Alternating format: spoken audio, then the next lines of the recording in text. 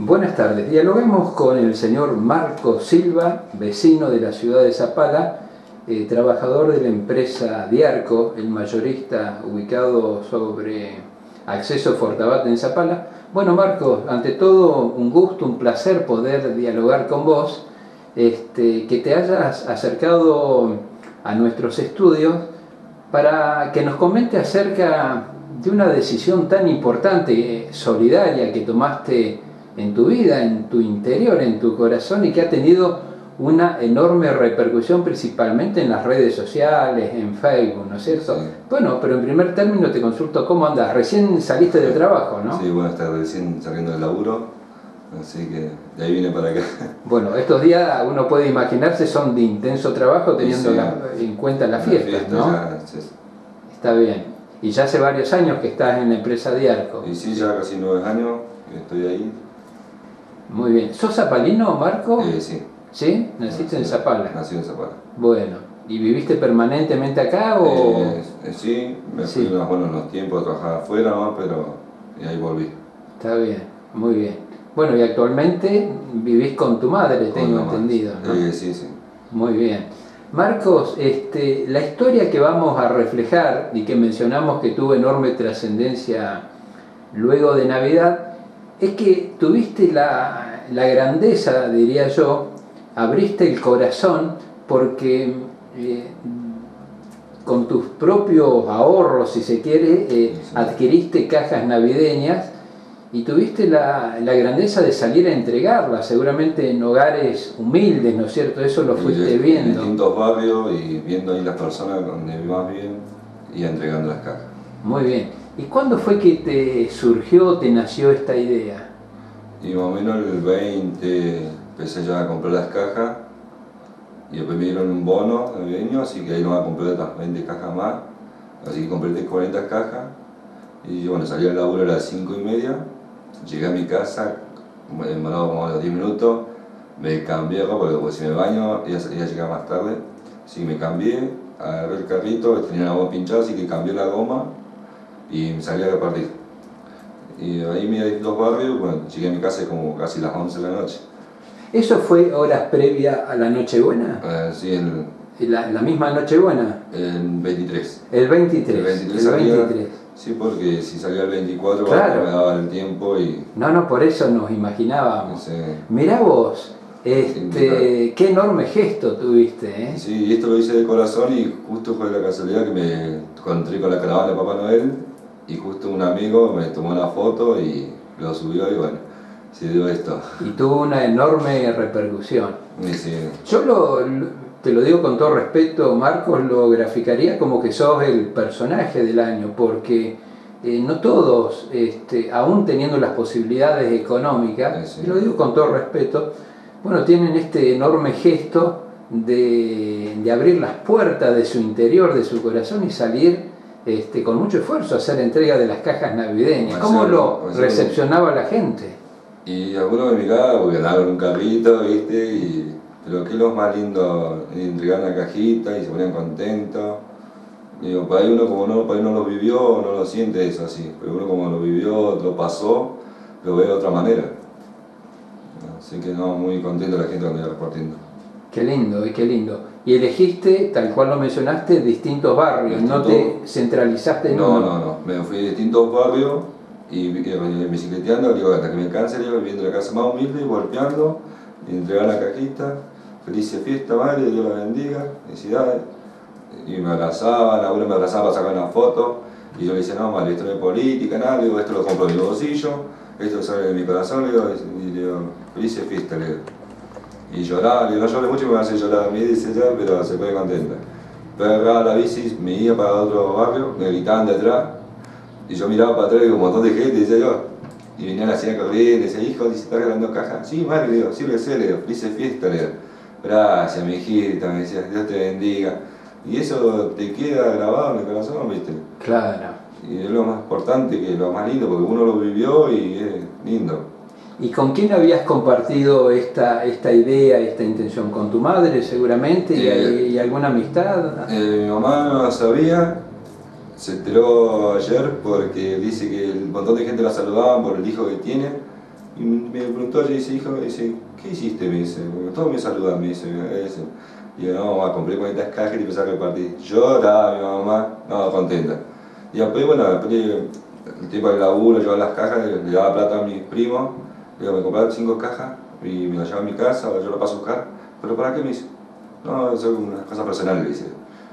Y bueno, después se enteraron y me felicitaron, me dice, para eso de las cajas, me dice, primo, te felicito, lo que hiciste.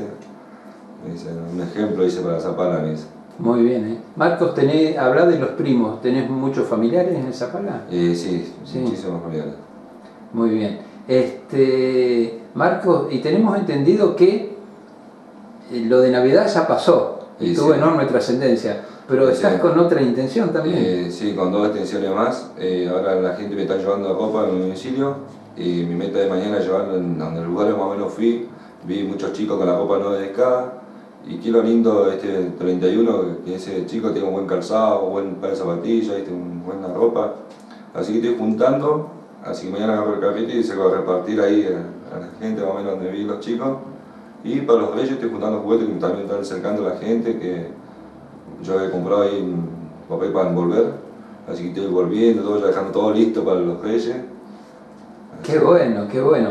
Es decir que fue tanta la repercusión que ahora eh, numerosos vecinos de Zapala te han tomado como un referente eh, que quieren hacer este, un acto, un gesto solidario, pero a través tuyo. Han ido a Diarco, me han preguntado dónde vivo, me han preguntado el número de teléfono para acercarme a las cosas. Así que no, muchísima gente ahí. Eh, bueno, sos una persona muy, muy joven, ¿podemos conocer tu edad? 29 años. 29 años. Bueno. Este, Marco, y te lo pregunto con, todo tu respeto, tu, tu infancia fue, fue difícil, si se quiere, este, familiarmente, me refiero a la posibilidad de, tener cosas como otros chicos, todo eso fue influyendo en esta decisión.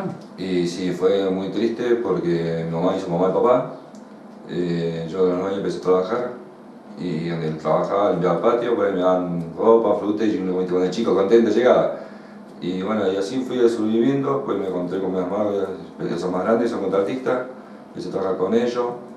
Y de ahí, bueno, entré a mayorista de arco y ahí cambió la cosa para mí, así que mi mamá contenta, pero fue muy dura. Por ahí no había para comer, tenía que comer pan duro, o un juguete nuevo, nunca lo voy a tener. Agarrar las latitas esas las viendadas que venías antes, los tronquitos hacía las ruedas, y así me armaban los autos.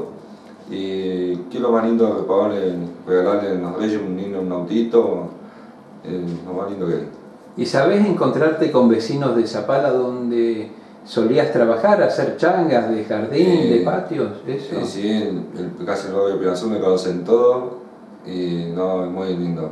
Por ahí cuando yo limpiaba patio me dejaban plata bajo las piedras y yo las juntaba y le decía, mal, esto estaba en el patio y así, bueno, la confianza, pues seguían ellos para el lago, me dejaban casero ahí y me metían como un hijo.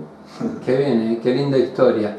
Este, que la verdad que, que lo que contás este, realmente impacta y emociona. Sabemos que te gusta mucho la música, eh, que sos un excelente bailarín, más que nada de, de, cosas tradicionales, ¿no es cierto? Sí, sí. Estamos ahí practicando un poco folclore, así que estamos ahí. Pero hace tiempo que estás eh, involucrado en la música, en los bailes eh, tradicionalistas. Sí, hace poco ahí empezamos ahí, pero bien. ¿Y qué significa la música? ¿Te, te permite expresarte, te, liberarte si se quiere? Y sí, te despeja un montón de todas las cosas y te... es lindo.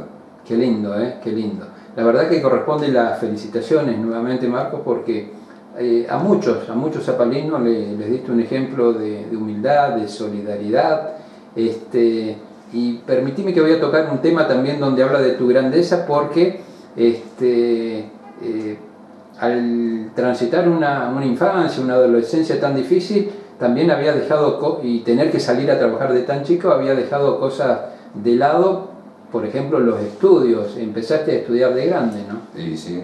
Sí.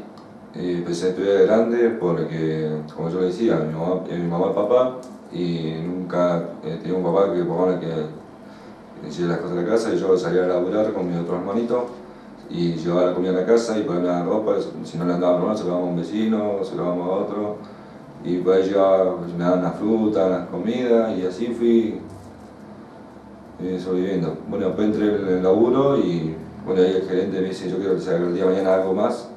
Me, me, me hizo la tata de la escuela, me compró los útiles, así que... Y ahí arrancaste a estudiar. A estudiar.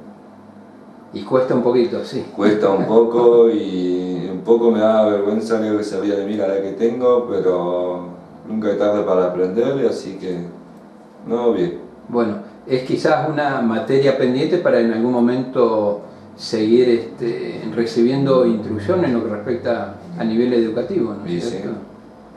El, el, tiempo, el, el, futuro seguramente te dará esa posibilidad, ¿no? Sí, sí. Bueno, Marcos, este, gracias por haber venido. Creo que hemos hecho una linda entrevista para todas aquellas personas que todavía no se han enterado del enorme gesto. Y estas son las cosas importantes que hay que, destacar, ¿no es cierto? Eh, la verdad que eh, te felicitamos y te consideramos el personaje del año en Zapala. ¿eh? Bueno. Éxitos y feliz año. Igualmente, para usted y a su familia.